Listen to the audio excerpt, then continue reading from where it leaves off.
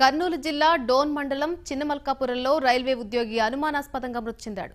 గుంతకల్ డివిజన్లో గేట్మెన్గా పనిచేస్తున్న ప్రతాప్ విధులకు వెళ్ళి తిరిగి రాలేదు. దీంతో గాలింపు జరిపిన కుటుంబ సభ్యులకు పొలాల్లో అతడి మృతదేహం కనిపించింది. మృతుడి తలకు బలమైన గాయం ఉండడంతో ఇది హత్యేనని బంధువులు అంటున్నారు.